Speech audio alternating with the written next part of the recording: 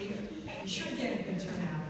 And so we have you all here today, and uh, I'm delighted to, to be able to co-host this event with our folks from GoBiz up in Sacramento. Um, you know, I, I get tired of hearing how the governor of Texas is stealing all our businesses away. I figure give them one summer at 100 degree weather for the whole month like July or August, which happened last year, and we'll get you back. But um, rather than have people leave and, and to sort of encourage companies to come here, uh, the governor's office and those of us in the legislature have been working hard to do what we can to, to help our uh, businesses grow, to keep them viable and, and vibrant. Uh, and the program that we're going to be having today hopefully will assist in that. I want to um, uh, first uh, thank the mayor of the great city of San Buenaventura, Cheryl Heitmann, my good friend, and now the mayor of this wonderful city for, uh, and her staff, Joseph Rubio. Come. I asked him his coffee, and we usually bump into each other at the coffee shop, but uh, um, he's out there pacing to see where there's an opportunity for business here in Ventura. And, um, uh, you know, I, I drove by my old law office, which uh, many years ago, my husband and I bought an old Victorian building. It had been built, I think, in 1902, 1903, and it was kind of looking sad. It needed, it needed to be revived. And, you know, once you start reviving, it's sort of a synergy. Suddenly, others, other places started reviving, and the downtown, which is now a vibrant, wonderful downtown, uh, was restored, and, and you can really feel a very, very positive energy. And when people are feeling good, they buy things. And so that's part of how we get the economy moving. And um, uh, I want to thank you for helping us with this regional workshop. Uh, we have folks from Santa Maria who are with us today who expressed an interest. And I am um, uh, very uh, pleased too that we have with us uh, Representative uh, David Tovar from Das Williams' office, who is with us today. Dan Goodwin, our county assessor, is with us as well. And Ellis Green, where's Ellis? Uh, well, Ellis will be with us.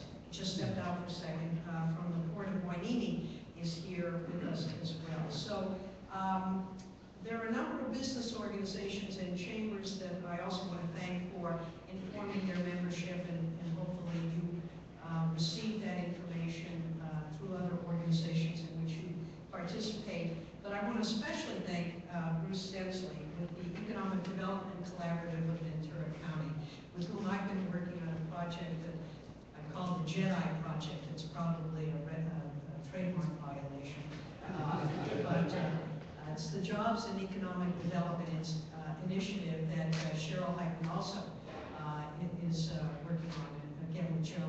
And, and the notion is that if we think regionally and try to take advantage of all of the opportunities exist within a, a regional uh, component, uh, we will be able to thrive.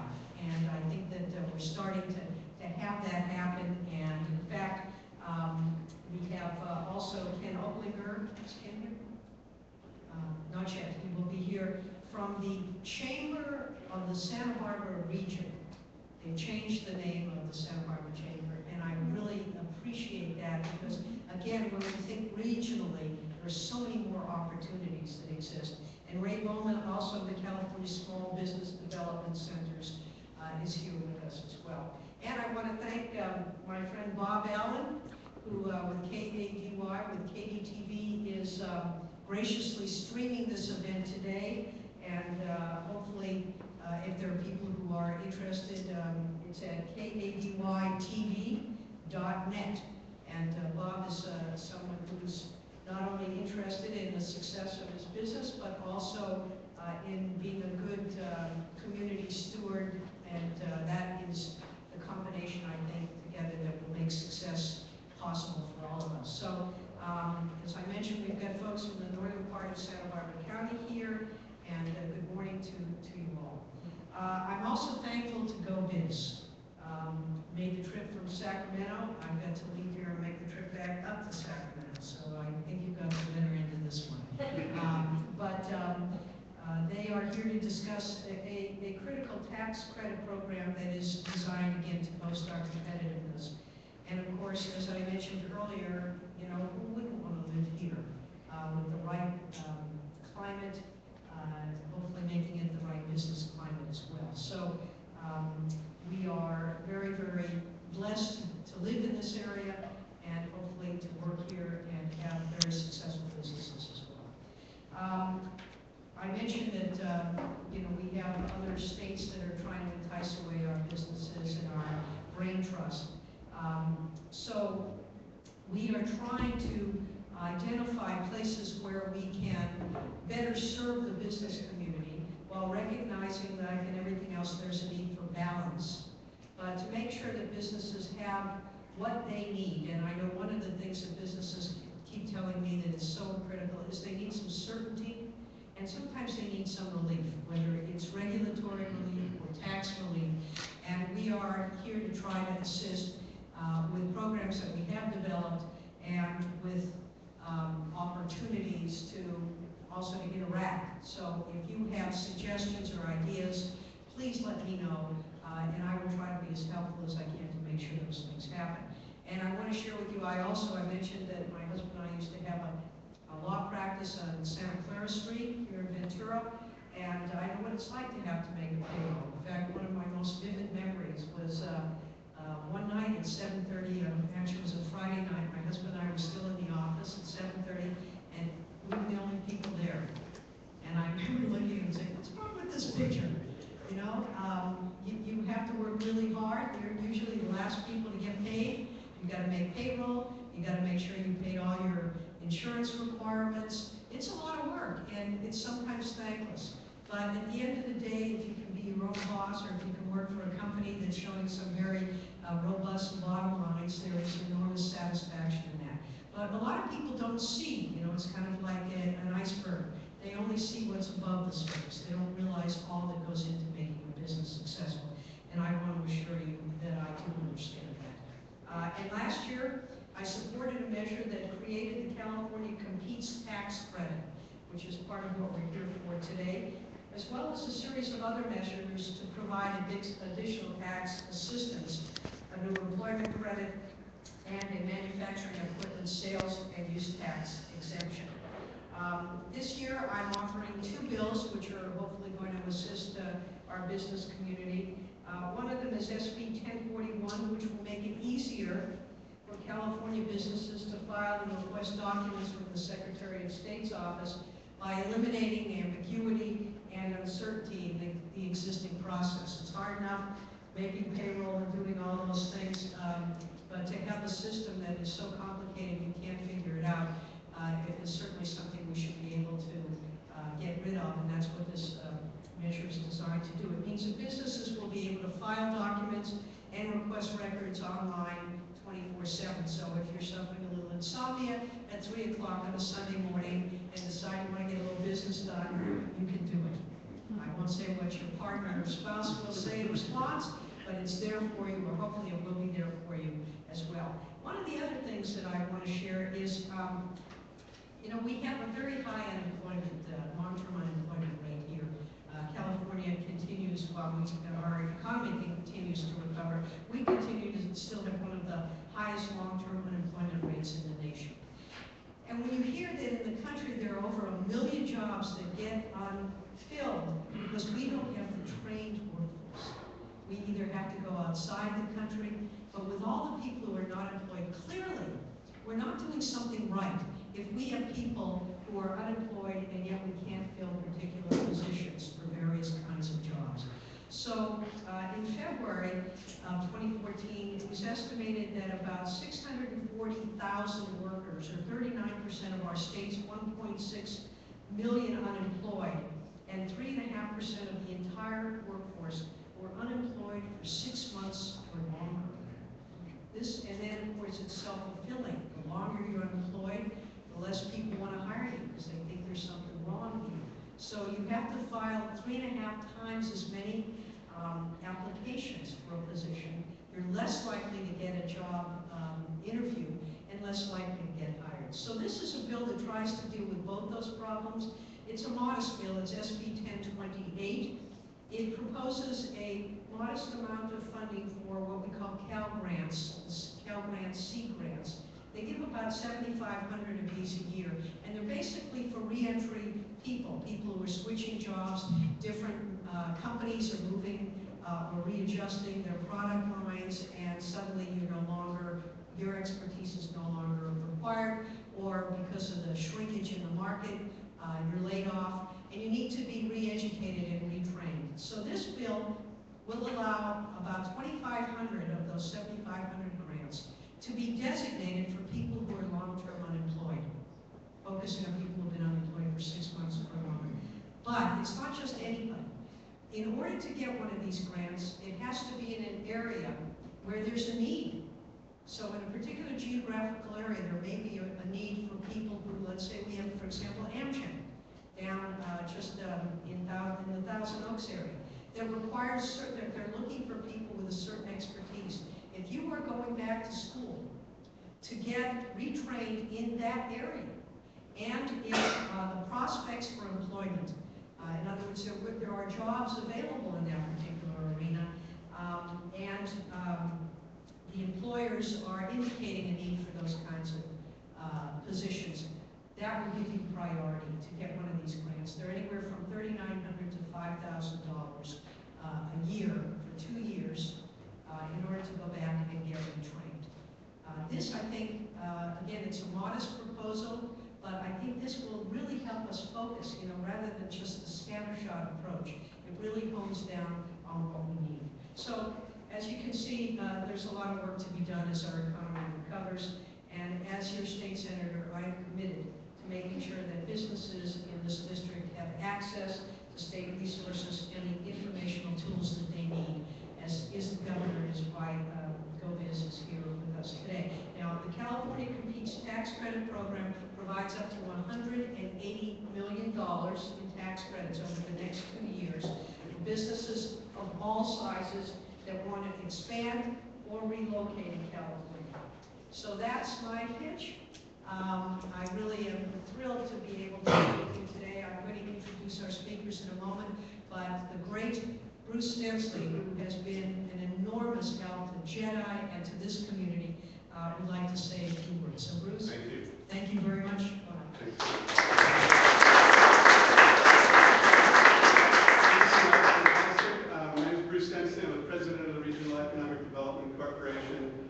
Um, And I'm here also on behalf of the California Association of Local Economic Development, which is a network of 900 practitioners of economic development, to tell you three things. One, this is actually quite a huge moment as California competes. While sometimes we might say that hyperbole is the language of government, it's no exaggeration to say that California competes, an incentive fund to help attract and retain business is a huge thing for California to have in place, and we're thrilled about that. That said, point two, we know that not every business in California will take advantage or be in a position to take advantage of something that's intended as a tax incentive to retain and attract business. That said, point three, there are many other resources that all of us in the room, from the representatives of the several cities, the chambers, economic development professionals, in partnership with the Senator's office, would be thrilled to help you access to make sure that you grow your businesses here in Ventura and Santa Barbara County and California as a whole. And there are resources. The competitive disadvantage that we hear about is not that true. It's not true at all. Huge reasons to be in California. We want to help you keep here, uh, keep you here, and this is a big piece of it, and I'll get out of your way. Thank you very much. Thank you, Bruce.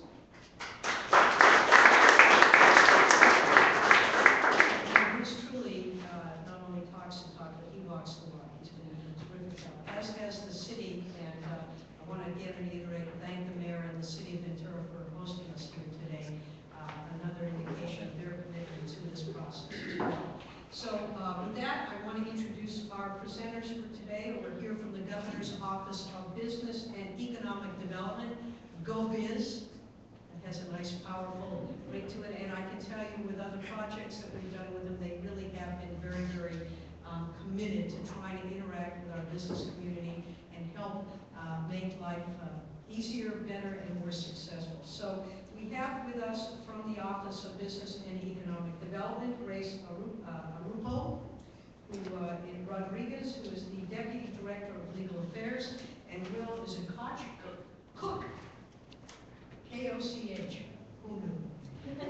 Okay, I'm sorry, Will Cook, who is the Deputy Director of Legislative Affairs. And again, thank, thank you all for being here, and as I mentioned, anything that my office can do to be helpful to you, please uh, let us know, and have a wonderful day. Thank you.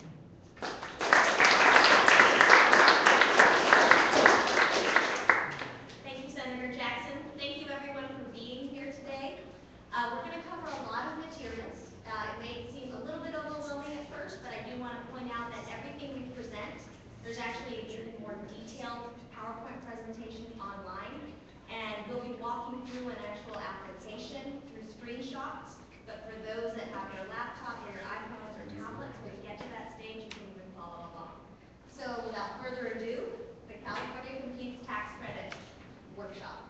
We are really excited to be here. I mean, I guess, switch to this version.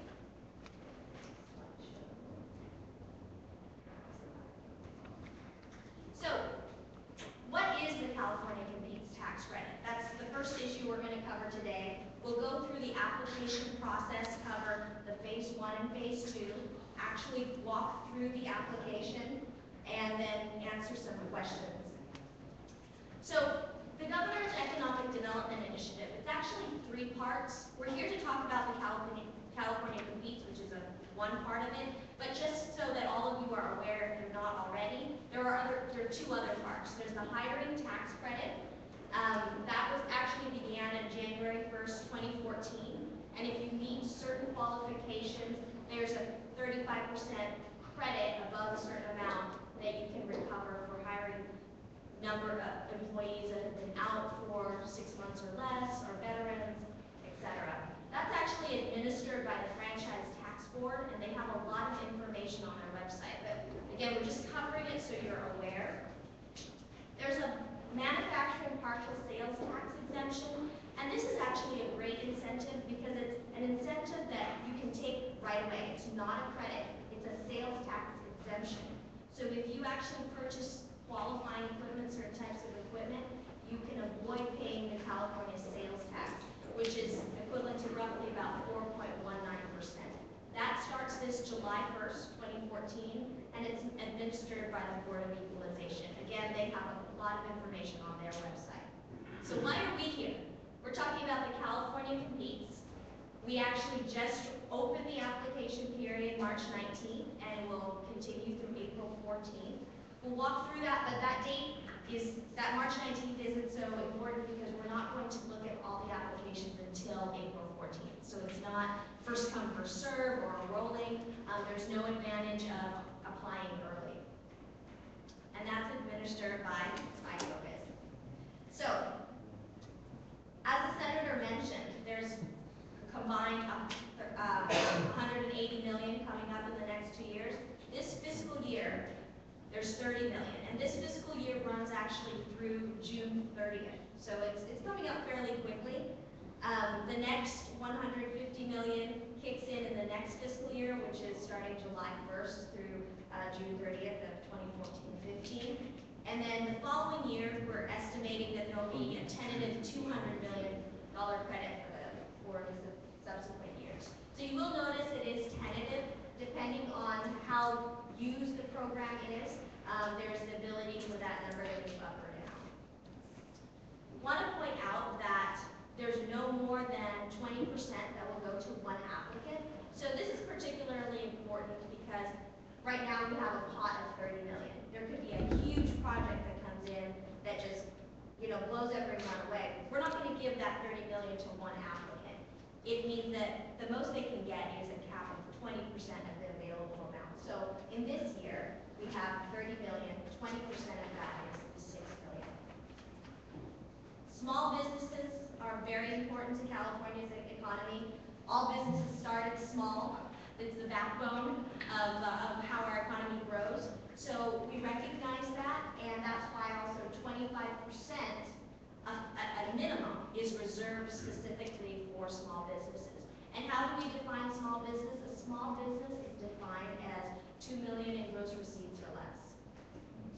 So with that, I'm going to switch it over to Will. We're, we're going to toggle back and forth so you don't get you know, our, our voice doesn't get monotonous and keeps you awake. Uh, so with that, Will. Thank you, Grace. All right, so what exactly is the California Competes Tax Credit? Now, under normal tax law, the statute, the law would say, if you do X, you get Y of credit. Well, that's, that's not the rule for the California Competes Tax Credit. This is a tax credit that only applies to your franchise tax or tax on those returns, so it doesn't apply to B&B sales tax or EDD, uh, withholding tax. It's, it's actually a negotiated tax agreement where a business can come to GoBiz and make commitments in terms of hiring and investment, and in return, GoBiz can make commitments of an income tax credit. The statute gives us fairly broad authority to negotiate these credits with businesses, but it does give us 11 different factors that we have to look at uh, when we're evaluating how much credit to award a particular business. Now, you know that some of these factors are very numeric very quantitative, like, for example, the number of jobs that the business is going to create, the compensation paid to employees, or even the amount of investment. And then you have some of the factors that are very qualitative, harder to put a number to, such as strategic importance to the state, region, locality, or even an opportunity for future growth and expansion. And you'll see when we talk later, we've uh, broken the uh, quantitative and qualitative factors into a two-phase evaluation process, where in phase one, we're looking at all the quantitative measure or data, and in phase two, we're looking at more qualitative information. Okay, so, like I said before, these are negotiated written agreements between GoBiz and taxpayers to make commitments in terms of hiring investment. The statute does require GoBiz to at least include three elements to each of these uh, contractual arrangements. Uh, The contracts have to specify a minimum employee compensation and retention period. And we want to avoid a scenario where a business commits to, I don't know how many jobs, 500, 1,000, 100 in year one, and then they end up terminating everybody in year two and being taken credit. So that's why the retention period is going to be included in the contracts. There'll be a credit distribution period. So why is that important? So that, what that means is we can structure the contracts where the business can get all of the credit up front in year one, or they can spread the credit over one, two, three, four, or five years. That's important because this particular tax credit is non-refundable, and there's a six-year credit carryover period on that. So what that means is, if you're awarded the credit in year one, and for whatever reason you don't have enough tax liability to, to use that whole credit up, you can carry it forward to the next six tax years. So a lot of startup businesses don't have a profit and therefore no tax liability in the beginning years, so you could structure that agreement so you could earn the credit in the outer years to be able to actually utilize it. And finally, the third provision that has, has to be included in each agreement is recapture provisions if the applicant fails to meet their, their commitments. So, you know, if a, a business commits to a thousand jobs and they get to nine ninety-five, well, that's one thing, but if, if they commit to a thousand jobs and they only get to two hundred, that's, that's an issue where we need to, have provisions in the contracts to make sure that, uh, we're not giving credits away that the business isn't honoring their commitments. So what is, what happens? So GoBiz and the business applicants reach a, an agreement on the contracts, and before it's finalized, each contract has to be approved by a new five-member committee. It's called the California Competes Tax Credit Committee. It consists of the state treasurer, the director of the Department of Finance, two appointees to the legislature, and these aren't actual legislative members, they're uh, just people that are appointed by the Senate Rules Committee and the Speaker of the Assembly. And then finally, the chair is the director of GoBiz or his or her. Okay, so application phase. So every year, uh, the director of GoBiz will designate when we're going to accept applications for the fiscal year. So anticipate probably either three or four times a year, we'll open up an application period. This particular fiscal year, since we're so close to the end, we're only going to have one application period, which is, as Ray said, between now and April 14th. We do want to mention uh, a distinction between a rolling application versus expiration. So this, this scenario really isn't applicable this fiscal year, but in, in a fiscal year where we have multiple application periods, if for whatever reason you, you file your application the, the first application period and you're not uh, awarded a credit, your application remains valid for the entire fiscal year. So we'll still keep accept, uh, evaluating it, comparing it against other applicants all the way until the end of the fiscal year. If you're not awarded a credit by the end of the fiscal year, your application will expire. Yes, sir. So the uh, initial, the, uh, the app period ends on the fourteenth, that's just the initial thirty month. Yes. Yes.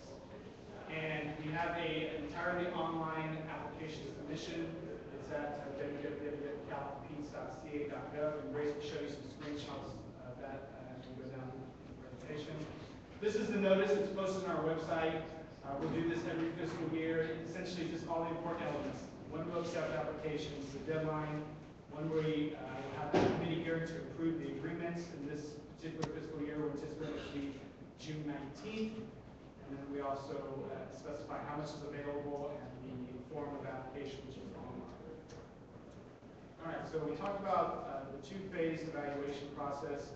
First phase is we're doing, we're taking the numeric information off the, the application and comparing it with all the other applicants that we received during the application period. We want to make note that the small business applicants are going to be compared against other small business applicants. You're not going to have a small business application going up against a, a billion dollar corporation's uh, application. And what we're going to do is we, we are committing to remove at least the top two hundred percent in applications to the next phase two, where we ask for additional.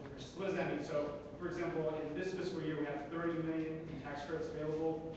We're gonna move at least the first sixty million, the highest ranking sixty million ask, over to phase two to get additional information.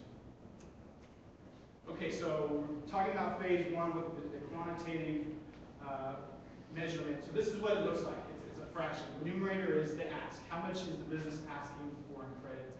And then the bottom are two, uh, items we're going to talk about in more detail soon. It's aggregate employee compensation package, which essentially is the amount of compensation you're paying to your new employees over a five-year horizon. So you do need to do some projections on your level of hiring, what those salaries will be, then also aggregate investments. What does that mean? That's uh, real and personal property purchases related to the business's operations. So we're talking about depreciable stuff, stuff that has a, a useful life of greater than a year, uh, buildings, uh, machinery, vehicles. We're also including value land, leases, things of that nature.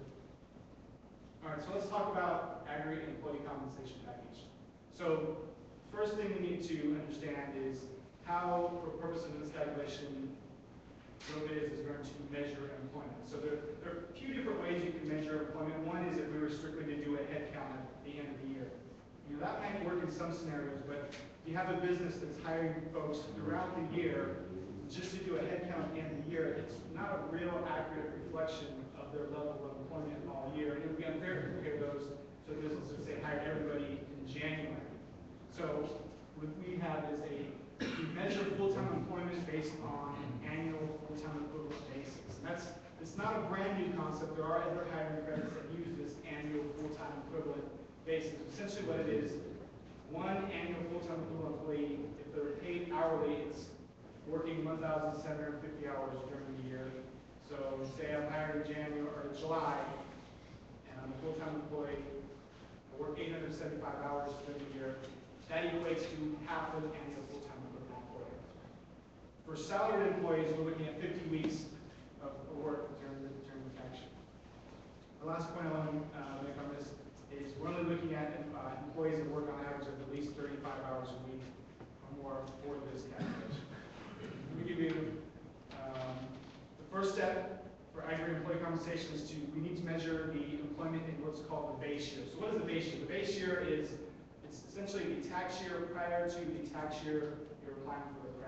Right now, for a calendar year taxpayer, it's the twenty thirteen tax year. So we're trying to figure out a benchmark of what your level of employment was to compare it against any future increases in order to determine that net increase of employment compared to the base year.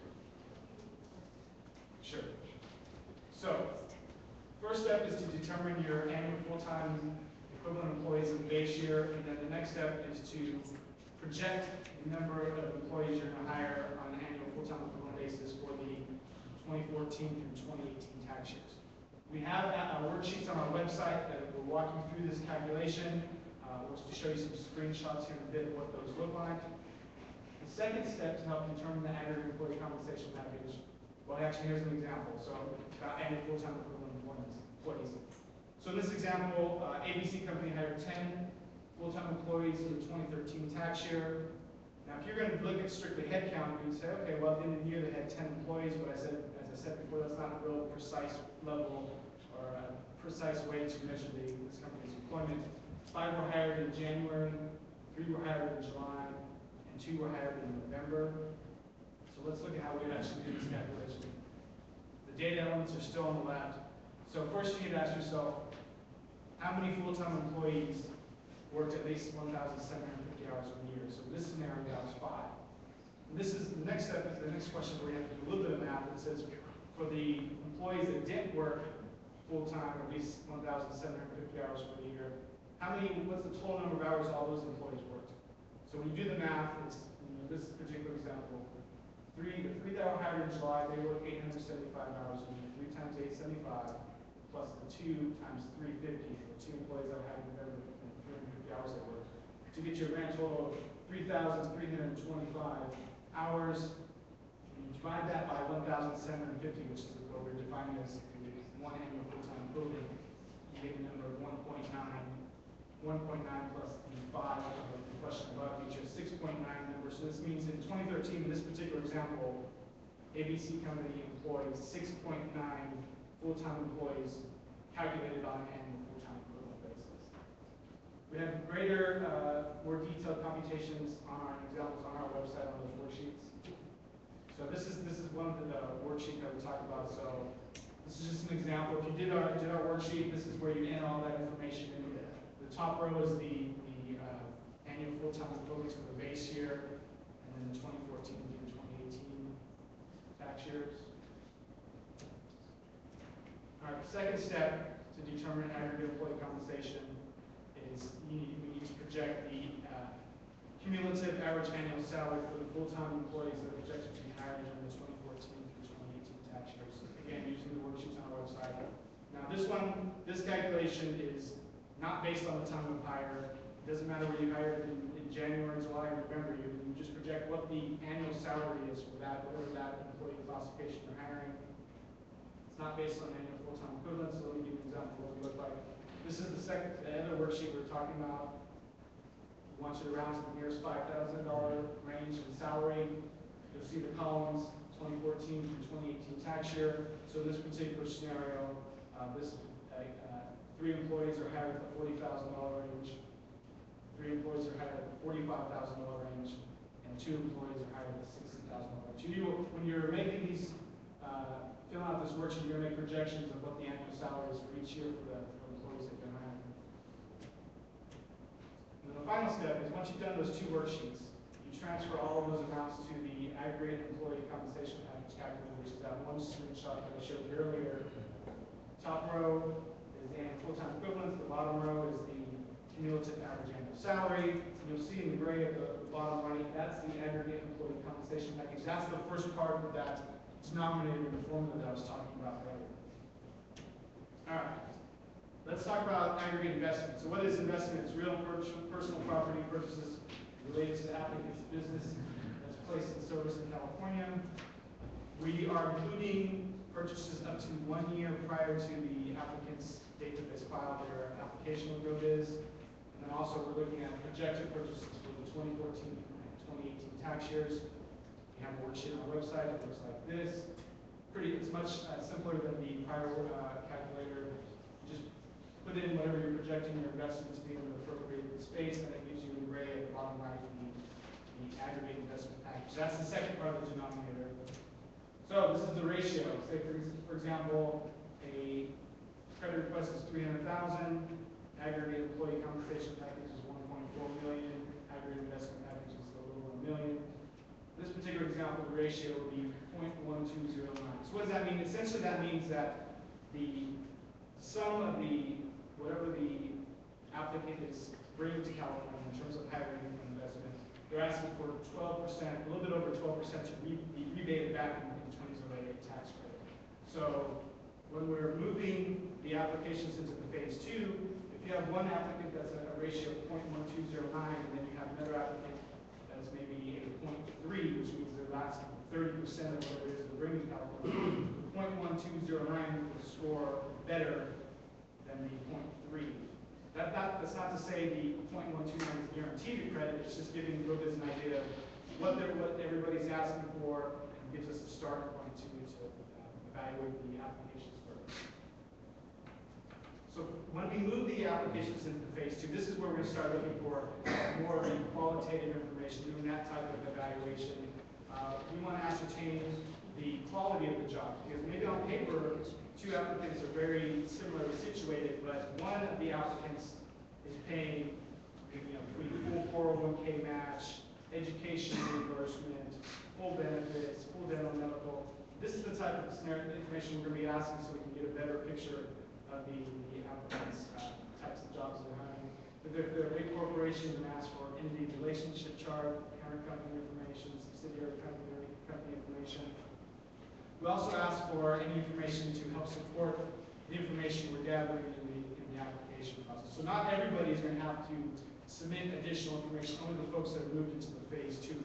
Uh, we want to make sure that it's easy upfront to apply and not, uh, have a bunch of businesses go through all kinds of hurdles and hoops. They didn't have a chance of getting a credit, but we will be asking for more information in phase two. Finally, things we'll be asking for readiness and site control information. Trying to get an idea of how viable the project is. Is it shovel ready or is it something that, that we can turn into dirt in three, four years from now? So that's the type of additional information be asking for. These are the factors that we'll be looking at in phase two, job retention, opportunity for future growth and expansion. So what does that mean? So right now, you notice that we're only looking at a five-year horizon, but perhaps the particular applicant says, well, you know, this is what I'm thinking of doing, you know, one, year one or year five, but year seven or eight, I've got this huge expansion plan. So we're gonna be looking at things like that. We're gonna be doing some economic impact modeling for direct, and reduced jobs associated with whatever the applicant's proposing. We want to look at incentives available in-state and out-of-state. So this is where, you know, if the applicant is getting wooed by another state to, you know, expand their operations California, we want to know what's on the table in those other states so we can try to put a competitive package together. Looking at benefits and fringe benefits provided to the employees. Going to look at the strategic importance of the state and regional locality. So if you have a project that is really supported by your local, region, city, county, and that you get a letter from them, and that's where we'll look at those types of letters and things. Uh, we're also gonna be looking at unemployment and poverty in the business area. The statute requires us to, um, make sure that we take this into consideration. How bad is, is the employment and poverty in there, and make sure we direct resources businesses on these high poverty, high unemployment areas. So, once we've been able to negotiate a deal to award an applicant credit, um, the, the contracts, the agreements have to be approved, uh, via a public hearing of that California Communities Tax Credit uh, Committee. So what does that mean? So it, it's subject to the, what's called the Bagley-Keene Open Meetings Act, and that means that we have to post an agenda public to view at least ten days prior to the hearing, uh, and let them know that we'll be considering these, uh, agreements. Any confidential, proprietary, or trade secret information that's in the agreements will, be redacted from those contracts, so the public won't see that information, but they will know certain elements such as whatever the business is that's gonna get awarded the credit, or possibly awarded the credit, the amount of credit, what they're committing to in terms of hiring investment. And the committee is tasked with either going thumbs up or thumbs down. GoBiz will be fully vested in these contracts, We'll be advocating for the committee to uh, approve them. Um, But they are, it is a step that's necessary to finalize the award of that credit. And then finally, the statute requires GoBiz to post on our website, um, the elements of the contract, the name of the person that's awarded, the name of the person or business that's awarded the credit, the amount of the credit, how many jobs they're committed to make, how much investment they're willing to make, committed to make. And finally, if any of the amount credits have been pulled back from caption because the business failed to honor the terms and conditions of those agreements, that information will be posted on our website as well. So this brings us to what our application process looks like, we'll call the race back up here. This is when you look at the, the landing page for our www.calcompetes.ca.gov website. It looks like it's just gonna take you walk through the application. Thank you, Will. So it's a lot of information to take in, especially if it's the first time you're seeing it. But hopefully by distilling it into this application, you can see how we simplify all of that as it goes through. So, this, as Will mentioned, here's our landing page. The first thing we're gonna be asking for is your email address. And this is actually key because email is how we're going to communicate with you. It's also how we're going to send you an access key. We haven't developed, um, for security reasons, we prefer to actually send the access key to each person's email, rather than creating passwords and having that password lost. So the first thing is you're gonna, um, since you'd be new, you click on create an account. What would pop up is the, you know, your traditional reCAPTCHA numbers to make sure it's a real person or a human filling this out. It will ask for the first name, last name, email, title. This page is also very important because it's creating the profile of the person that's creating the application. That's also the same person that GoBiz will be authorized to speak with. So it may be someone from the company that's applying, it may be their accountant, it may be their attorney, but the person that's filling this out, this is the person that GoBiz will be speaking with.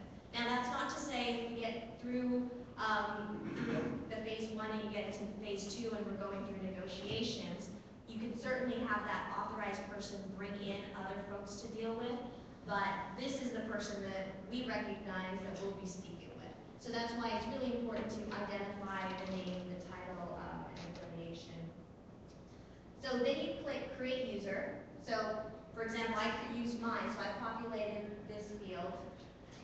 My email address will pop up, so whatever email address you put in, and then you, you'd actually receive, once you put it in, an email. And so this is that access code that we're talking about. This access code is good for five minutes. If you don't log in within that, it'll just expire. You can click, um, you know, resend an email if for whatever reason you got pulled away and had to do something. Um, but you could do that as many times as you want if you had to. And you would put that, I know the font is pretty small here, but you put in the numerics that showed up there, either the number you can copy, paste, or follow your link. And then once you entered that, and that you see in that previous page key, you enter that key, and then it would bring you to Welcome to the California Compete page. So you could create a new application, or as you see below, My Applications. And that was also designed for um, companies or consultants or, or accountants that might have multiple applications within one, one parent, or they have clients, so they have multiple applications. You'll also see the QR bar. Um, this is very app-friendly as well, phone-friendly, so we've designed it that way because some companies are um, um, very liquid and fluid, and they're, they're doing things on the go, so we, we put that in mind when we develop the application. So, create the application. When we click that, it's gonna ask you for your title. So the title, don't just put my application, because it, we, something that that identifies your project, because that's also what we'll be using, uh, as in GoBiz, we'll be using to say, hey, this is, um, Disney's project, this is whoever's project. So descriptive enough title. Then you just click create application, and then once you click that, you'll see a, um, a number of oops, items that will pop up. All of them are shaded right now, um, not yet, uh, not started, because we haven't started putting in the information. You don't have to enter the information in that order. You can actually click, um, you know, business information first, propose, pro- or, or then start working on employees.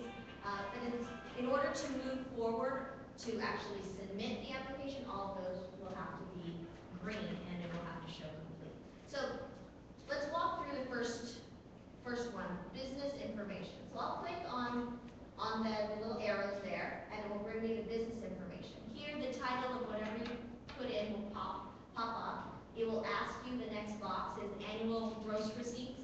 As we mentioned earlier, this is so we can determine whether you're a small business or not. So it will show whether you have two million in gross receipts or less. So you- it would just, it would be a drop-down menu. Then you have the federal identification number or FIN or California taxpayer identification number. That's, um, it may be a social security number for small businesses. You don't have to put it in if you don't have, have it, or if you, you choose not to. Um, but you will need to disclose that if we get to the phase two, because we'll need to have that identification number there. And then you'll also have your legal name or business name and the year established. So pretty straightforward. Then you scroll down on the screen, you have your address, phone number, uh, excuse me, um, zip code. One thing I do want to point out here, you'll see at the bottom, it says applicant's primary NAICS code. What does that mean? What's a NAICS code? You can actually click on that bottom where it says, click here for NAICS code information, and it will link you through to um, the website. It's the North American Industry Classification System. And why are we gathering this information? It's basically a form of indexing the types of industries that are applying. So it could be food processing, apparel, um, what have you. Don't have to get exact. It's just helpful for us to know what areas are growing in California. So, so that's what you'd see if you go through the NAICS code part. So you fill in what your appropriate NAICS code might be, and then your project NAICS code. And we have, we did put two boxes there because for some companies, um, for example, there could be an insurance provider, and they're, they're insurance provider, and that's their primary NAICS code. But they're going to start developing, um, eye, eyewear, um, contact lenses. So that's their proposed project, so their NAICS code might be different. And so that's why there's two boxes. Um, it could, it could be the same. So as you'll see, we've actually now started putting in that information and it shows in progress. And I should point out, um, right at the bottom left-hand corner of the screen, I don't have my, my pointer, but it says section in progress. If you were happy with all that information and you were done, could actually click and it's a drop-down menu and, it, and you can turn that into complete. But right now we're showing in progress. Then the next one is the business structure. So the business structure, it's asking you whether um, the enti- where the entity is located. Is it U.S. or non-U.S.? So pretty straightforward. And then the entity type. So I put down below what, what we mean by entity type. It's individual, proprietor, C corp, S corp, etc. So in this example, I picked C corp. So if I pick C corp, a new page will pop up. It will say, okay, you're, a you're a C corporation. Are you publicly traded? Yes or no? So you can actually see their, their bars. If you were on a tablet or a, a touch screen, you could actually move that from side to side as well.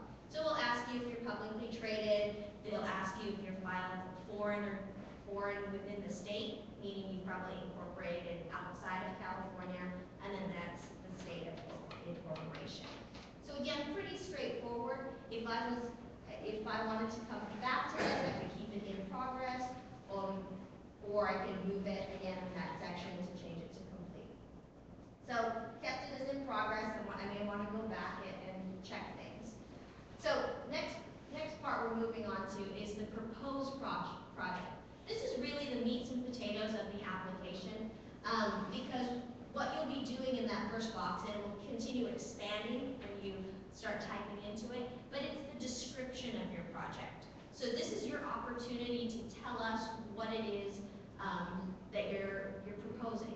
Um, right now, we only have a project location, you'll see at the bottom for the address uh, of one location, but if there's multiple locations, go ahead and please describe that in that Um, we would recommend, um, although you don't have to, start it in Word, type it up in Word, and then just copy paste, that's probably easier. Um, and then it also, it asks for an implementation date.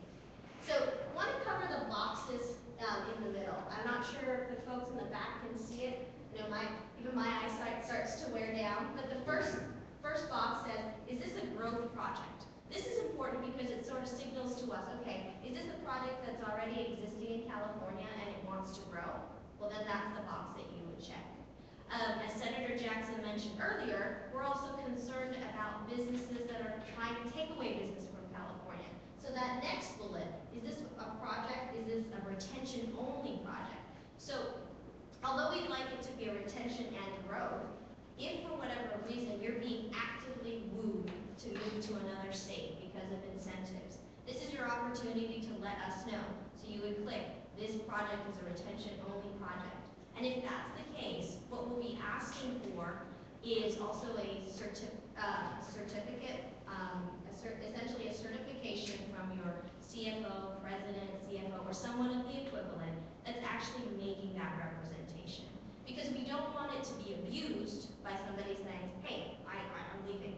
Uh, Because these applicants that click this box, regardless of how they score, automatically move into phase two. So, you know, when Will was going through those examples of those ratios and you get compared, if for whatever reason, because it's a retention-only piece, and you don't have that growth, you may not score so well. So that's why we would say, well, click this and then move into phase two.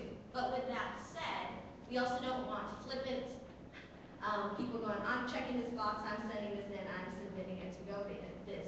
Because when we get to that stage, well, we're, we wanna be as aggressive as you to figure out what package we can put together to keep you here.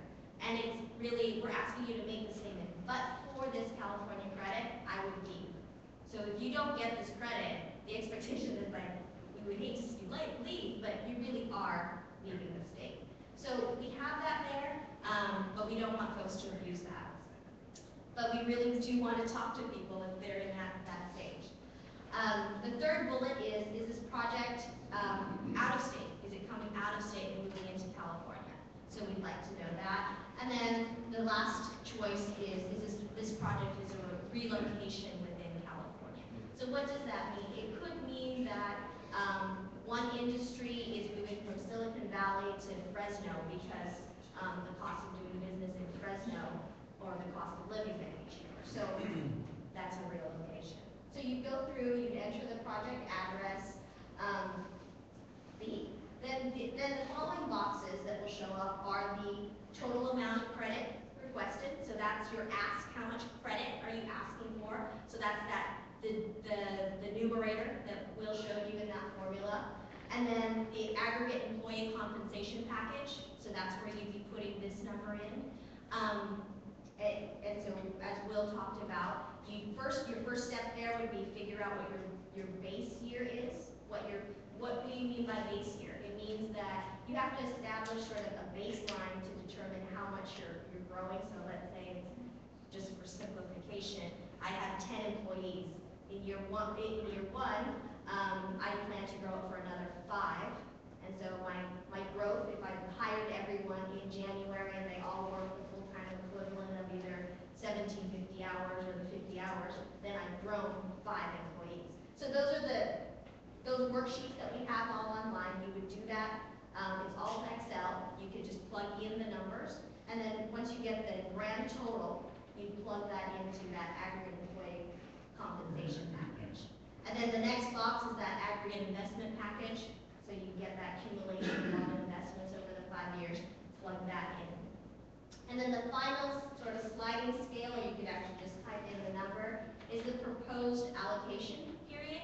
And this goes back to that credit distribution piece.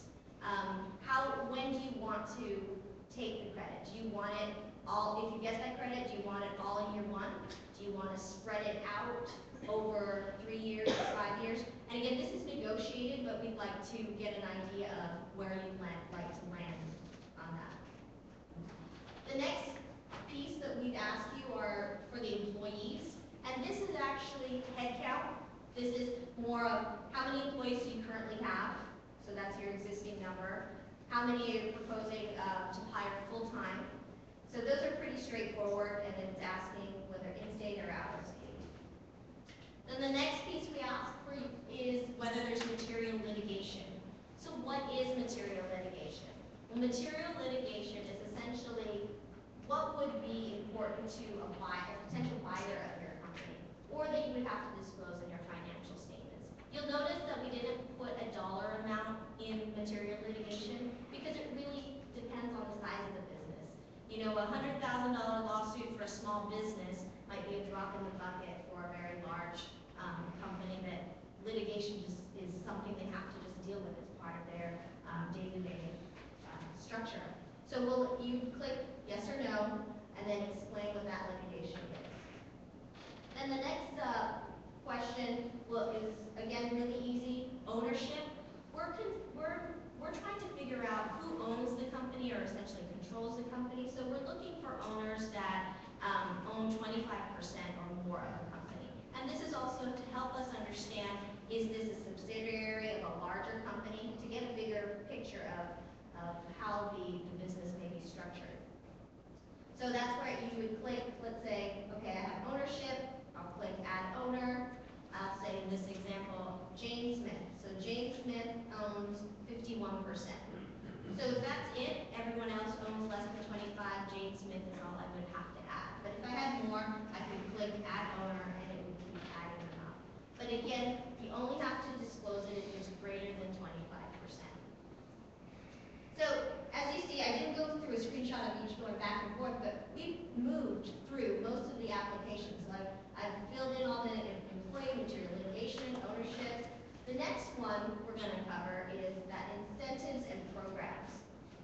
So what are the incentives and the programs? It actually serves two purposes when we gather this information. It means what other credits or incentives are you currently taking advantage of. So it kind of lists out some um, here. But it's also, I said, dual purpose because an applicant might not also be aware of some of these credits. So if you don't fill this out, then we would like to also work with you through our CalBIS unit, it's the California Investment Services program within our office, to help, and to help you identify whether there's other credits or incentives that you're not taking advantage of that you could qualify. And as I mentioned earlier, like the, you have programs within your um, county that might be available to you that you're not taking advantage of. So that's, that's why this information is, is here or is requested.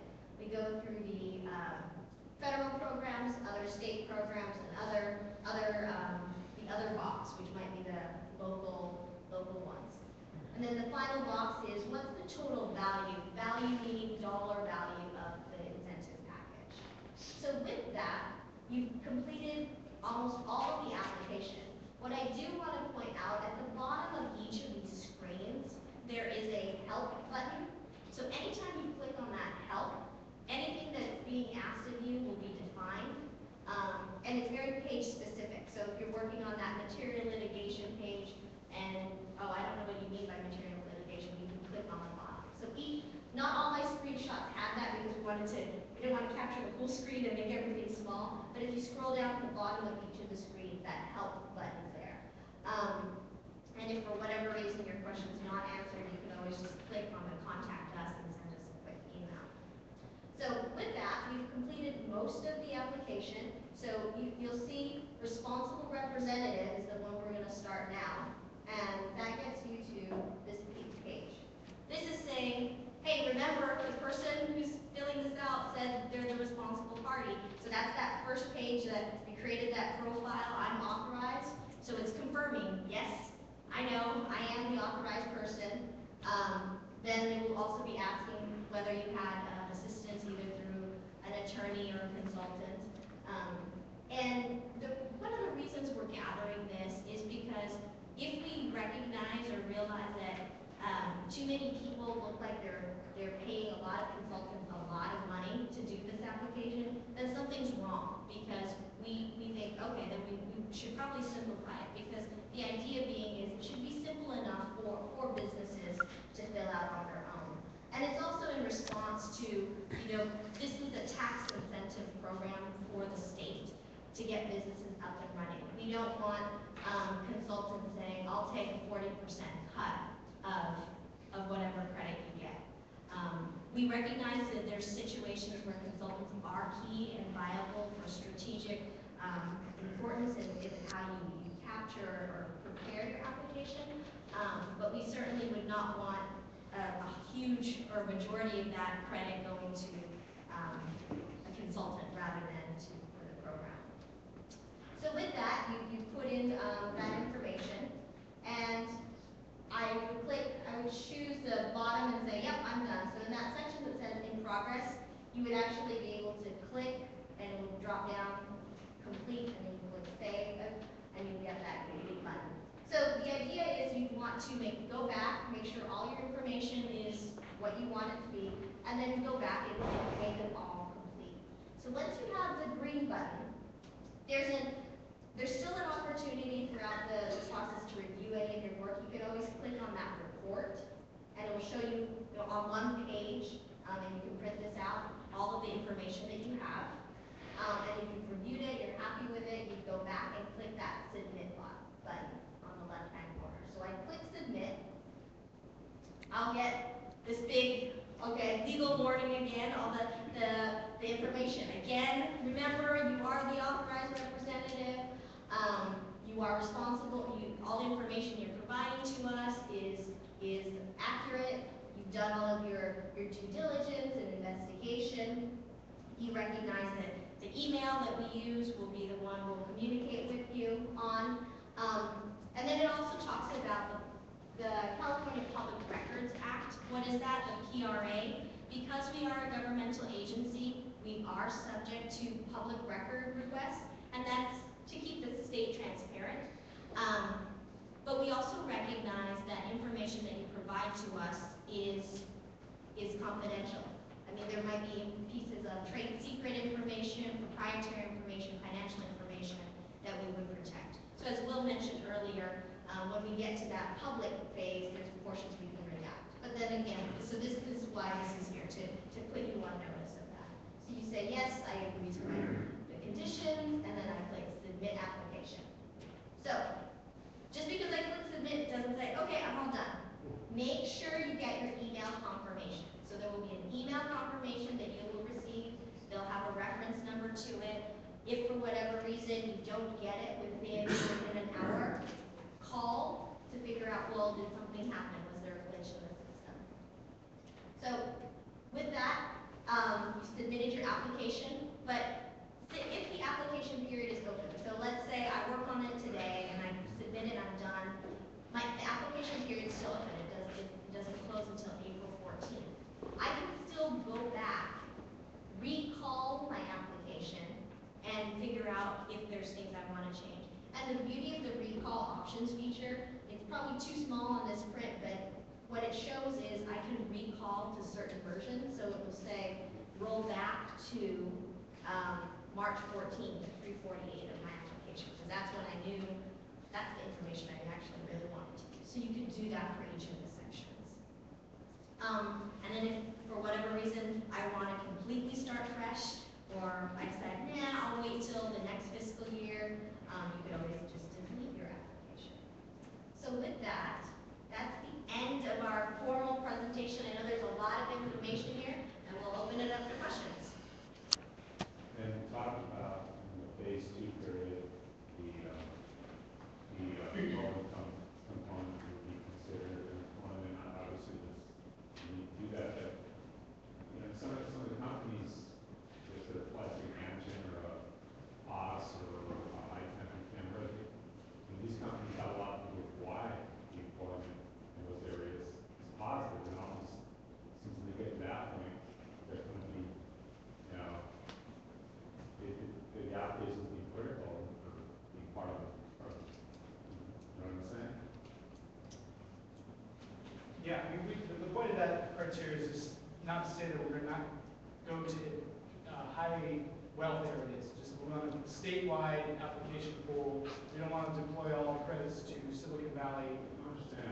But, uh, so it's just that one evaluation factor, it's not a, it's not a make or break, uh, criteria. Right, I mean, when companies gets turned down for that reason, it could, you know, they might just blow it off and say, well, if they shot me down, it's why should I apply again? that kind of. No, I recognize that, and I think part of the reason we also said we're gonna look at the first two hundred percent, at least the first two hundred percent of the ask, so again, this year it's thirty million, so we would look at sixty million. So that's also the opportunity to go deeper into the pool, if things didn't score well, but we're also comparing regions that, um, you know, just because you, we don't, you know, we don't wanna penalize certain areas either, um, but we want to look at that holistic picture of the entire state of, of California.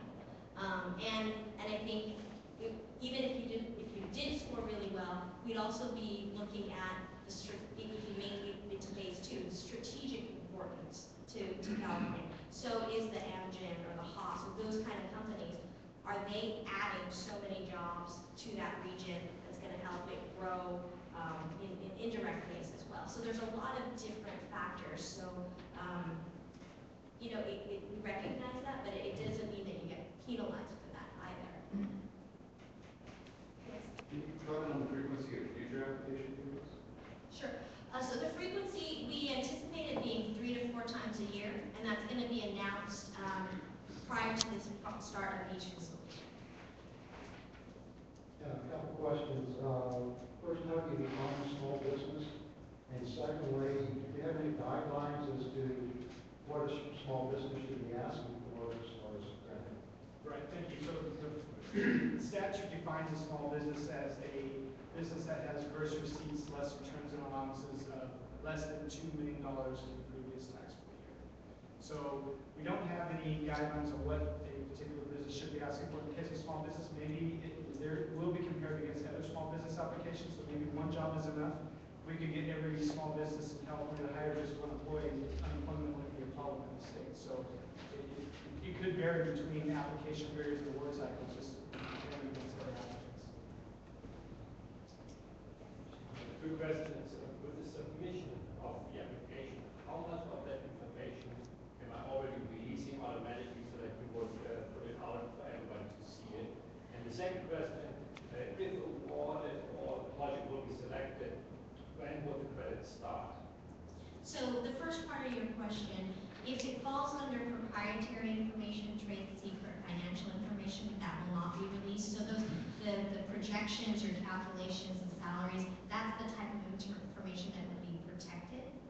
Um, that we also have, there's all these exceptions in the Public Records Act. If an award actually hasn't been given, we don't even have to disclose the name of the company that's applied. So, so the fact that you've applied doesn't mean that we, we will disclose that you are applying. It's only when you get to that, that, the near final phase when we've negotiated an agreement, we will need to disclose. And then you, the, se- the second question you had. When will the project start? When would the project start? Again, that depends on when you tell us in that negotiated agreement when you want to take your credit. So it could be, it would be awarded if you applied in this fiscal year. It would be awarded this fiscal year, but it doesn't mean that you have to take the credit starting, um, you know, twenty fourteen tax returns. You can say, well, I'm going to start it in twenty sixteen, and I can carry it over, like Will mentioned, up to six years. So it, it's negotiated, so it intends to be flexible. Yes, uh, I'm with SCORE, and we work with early stage startup companies and, uh, small businesses as well. How does it work where a company is in the early stage, or may even be on the, on the board still, and they don't have a history, and they're actually trying to build this as part of their financial plan? How do you, how does that factor into it? If you have no history and Well, yeah, I think so if the, if the company is ready to make commitments in terms of hiring and investment, it's an opportune time to, to apply for the credit. And that's why we have the flexibility to you know, acknowledge that they, they may not have a tax liability in year one, two, or three, but maybe in year four, they think that that tax liability to start kicking in. We can say, you know, right now, if you make these commitments to be hire, these hires and investment, and you're applying for a California needs credit, you can take it, whatever amount we agree to in year four, have six years to use it. So absolutely, we can encourage those types of businesses to apply. And just to add to that, if you are a startup and you're looking at, well, what's my base year? I have zero. So everybody you, st- you, you hire or potentially are hiring, that's already, you know, you're going from a zero to fifty. So your, your comparison of the job creation is, is- is really from a, a, a zero. So that actually could work very well for, for a startup. Yes? Uh, the application of the twenty-five percent to small businesses, um, is that considered when you double down from phase one to phase two? So in other words, if you're taking thirty million in this first period, and you get sixty million in total, is that fifteen million has to be small business going from phase one to phase two? No, um, the, the, that two hundred percent ask is really the, the, the pool, the, the, the ranking. Um, but if we, we can go below that, or we can go more than